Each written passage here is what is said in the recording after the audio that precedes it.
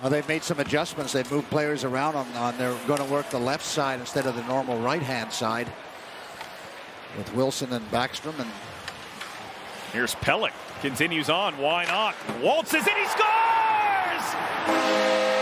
How do you like that? Adam Pelech right down the gut and through the legs of Samsonov.